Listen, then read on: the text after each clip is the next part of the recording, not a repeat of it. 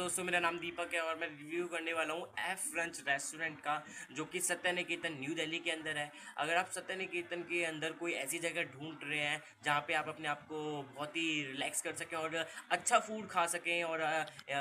तो आप ज़रूर आइए यहाँ पे और इनकी खास बात ये है इनका फास्ट फूड फास्ट फूड बहुत ही अच्छा है आप ज़रूर ट्राई करिए यहाँ पर आके